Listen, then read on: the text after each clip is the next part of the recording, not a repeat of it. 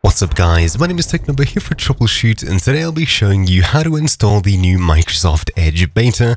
I'm pretty sure it's still in beta, which is the new version of Edge, which is built on Chromium, which is the same as Google Chrome. Why exactly you'd want to install this besides Google Chrome, I wouldn't exactly know. However, if you want to experiment and give it a try, why not?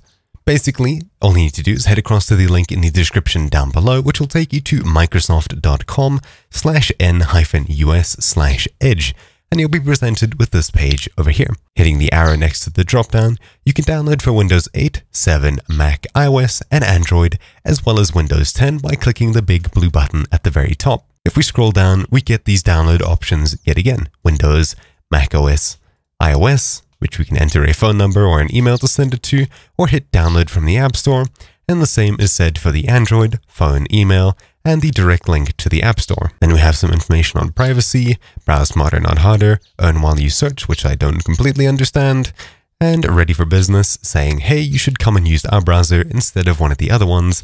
So let's go ahead and hit the download button and see what this is all about. You can of course read through the license terms, accept and download, and we'll wait for this to finish. All you need to do is hit run, and it'll open up the 1 megabyte installer which will download the rest of Chromium and install the new Edge browser. So I'll hit yes when asked for admin and it simply downloads Microsoft Edge.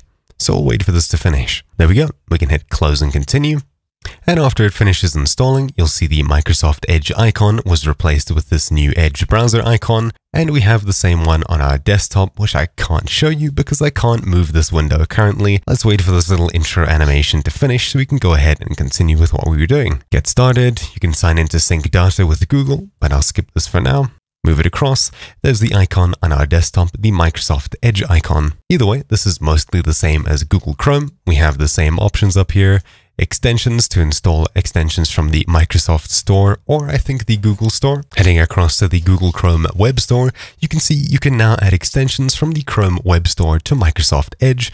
So we'll say allow extensions from other stores, hit allow, and it'll allow us to add them from the Chrome Web Store instead of just from the Microsoft Store. So I'll go ahead and search for my own plugin. I'll go ahead and hit add to Chrome, add extension, and you should see it pop up in the very top right once it's done installing. And there it is. Cool. So now we have Chrome extensions running inside of Microsoft Edge.